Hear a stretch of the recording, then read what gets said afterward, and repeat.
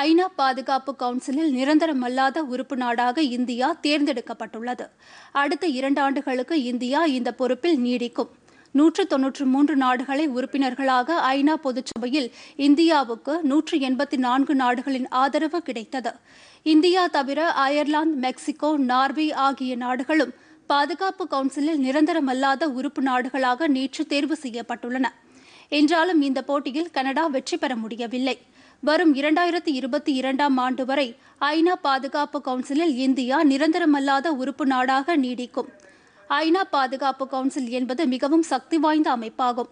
இதில் China France Russia Britain America ஆகிய ஐந்து நாடுகள் நிரந்தர உறுப்பு நாடுகளாக அங்கம் வகிக்கின்றன. Estonia Niger Saint Vincent Vietnam உள்ளிட்ட நாடுகள் ஏற்கனவே நிரந்தரமல்லாத உறுப்பு நாடுகளாக நீடிக்கின்றன. தற்போது இந்தியாவும் அந்த பட்டியலில் இணைந்துள்ளது. பொதிகை செய்திகளை யூடியூபில் தமிழ் நியூஸ் தூர்தர்ஷன் என்ற சேனலிலும் ட்விட்டரில் Tamil news Doordarshan at DD news Chennai என்ற பக்கத்திலும் காணலாம்.